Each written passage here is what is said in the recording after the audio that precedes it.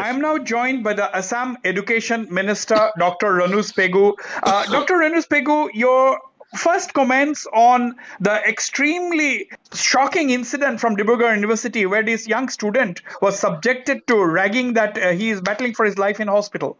Uh, this is very unfortunate and this is a crime against humanity. I, last night I came to know and I talked to the police and also the university authority. I am asking the police and as well as the university authority to take strongest action possible against these uh, culprits and this should disappear. This is an old culture. This shouldn't be reported so frequently in the state of Assam.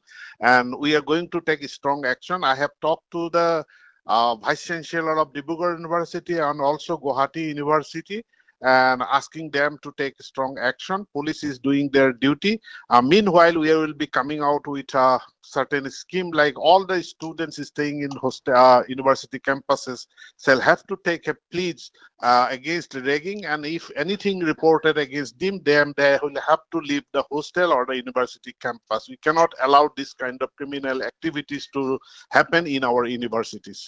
Absolutely. Uh, now, now that means you said that you will come up with some SOP uh, yes. where all the students living in the hostels or the campus will have to take a pledge. Uh, yes. Uh, that means the Assam government is taking the issue very seriously, isn't very it? Very seriously, right. Uh, now, now, finally, uh, you know, what does this reflect? Why do students, instead of instead of encouraging a competitive atmosphere in university, you are going to these outdated methodologies of, uh, you know, ragging a youngster?